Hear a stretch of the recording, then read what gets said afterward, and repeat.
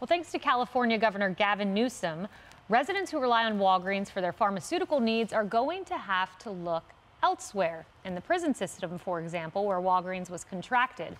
Newsom announced last week that the state will not renew its $54 million contract with Walgreens after the company said it won't make abortion drugs available in states that have threatened legal action against them. All of those states have either banned abortion, have proposed legislation, legislation or have pending challenges that would prohibit distribution. Newsom tweeted this California won't be doing business with Walgreens or any company that cowers to the extremists and puts women's lives at risk. We are done. David, to be clear, what Walgreens has said is simply this. If in the 21 states where, where governors have laws in place or proposing laws and said that they'll file legal action, we're going to abide by what the state says. Yeah. I don't see how that's controversial. Well, I, I, you're you're a better judge of the the presidential politics involved in all this because, of course, Newsom wants to be president. He's making a state. Uh, statement for himself. He, he may he, it may not get to the point where Walgreens is forced to either change its policies in the anti-abortion states or uh, pull all of their, their business out of California. They may come to some agreement. Um, so I think there's a little grandstanding, political grandstanding going by, uh, by Newsom. But, but the point is, is that all Walgreens is doing is trying to survive in, in a marketplace. And they, they right now, I mean, it, I, I supported the Supreme Court's decision that they made on Roe v. Wade, pulling back from that and giving it up to the states. But every state is, is a little almost country in and of itself. And, and so it is going to be very awkward for the next couple of years as different states have different policies, particularly those that regard the, the whole United States commerce and with the, these, these abortion pills. Yeah, and Emily, that's just it. So we know Dobbs, um, pre-Dobbs, the pro-life movement was taken out of the political process entirely. If you wanted to make a change, you had to go to the courts. You couldn't vote for change and have it done legislatively. Some states, these 21 states, have made the calculation, um, you know, a baby at 10 weeks, when you can use the pills up to that point, has arms and legs, has a heartbeat, and we want to regulate to protect that life. Um, why can't they make that decision? They should be able to. And Walgreens, to your point, simply is saying this. Our position has always been that once we are certified by the FDA, Walgreens plans to dispense uh, this drug. It's one of the two abortion pills, and in any jurisdiction where it is legally permissible to do so, including the state of California. So Walgreens isn't taking a side here. They're just saying, let the states decide, and we will honor that. Of course not. This is preposterous.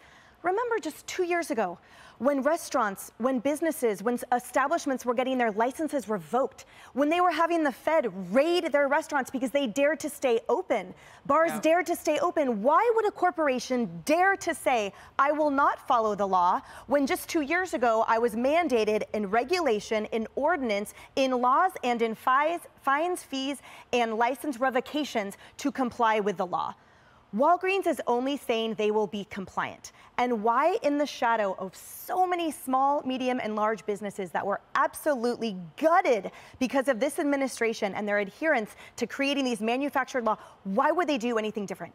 And for this state's administration, this Governor Gavin Newsom, to ignore those incarcerated, I've spent so many hours in state and federal prison. It is so difficult to get the medication that he says, oh, we will simply replace this contract, we will dispense it. Of course, you know why he doesn't care? Because those forgotten, discarded, that member, that those population members, they don't vote. That's why. That's why he doesn't care. Because those who are seeking abortion are more important to his woke, nodding political aspirations than the incarcerated, who are the truly ones that need our protection at this moment, especially under his state believe nothing that he says. Harris, and you look at the way DeSantis was treated for going after Disney, which, by the way, was given generous subsidies in the state. Uh, they were even allowed to build uh, to evade some fire prevention codes. In other words, they were given a really special place in state law. And DeSantis said, You've inserted yourself into the political process in my state on a bill I'm trying to pass, so we're going to take action. But he's evil, bad man for doing that. But Newsom, oh, women's rights, we're going to applaud him for going after a private company. Well, and to David's point, have we heard anything about Disney leaving Florida? No. Well, they're, no, they're no. losing their tax. So, they're, they're losing their status. They're, they're losing that tax status. And, so and maybe staying. Gavin Newsom needs to. to or well, where, where are they going to, to go? You know? Is my point. Yeah. They will work it out, which yeah. was your point. And by the way, uh, I'm just curious. So, and I'm sort of kidding, but not.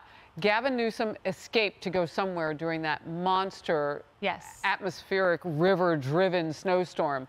Perhaps if Walgreens opens up someplace that he can escape to, he'll say, We should, oh, maybe keep that in my state. Yeah. I'm sort of kidding with that. This is politics. Yeah. It's clearly politics. This is not about people that he doesn't see over the people that he wants to vote for him or anything like that. This is he wants to run for president. So he's got to separate those groups yeah. out. we don't even know the half of it, I'm sure. Well, tell you what makes me know, so mad about this, Kelly. I'm sorry. It makes me so mad about I'm so sick of politicians using corporations, singling out corporations, and forcing them to get into the political side of a debate. To your point, Walgreens is trying to follow the law. They are under threat from these 20 states and these GOP AGs, and they've got to do business in these states. They are a company. They have employees employees that have kids, that have families. And by the way, if you want to threaten Walgreens and Duane Reade, mostly Walgreens in California, let's recall a lot of uh, lower income families depend on Walgreens Good for point. food. Yeah. Good point. Yep, for but as Emily pointed out, he may not see them. them. And by the way, they're getting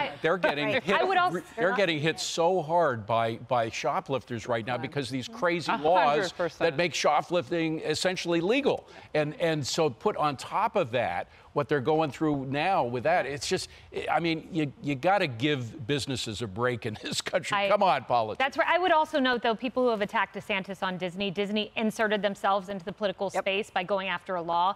And distinct from what DeSantis did, here you have Newsom going after other states' laws by targeting a political company. It has nothing to do with something Walgreens Imagine if he were president. California. Yeah. Oh, oh God.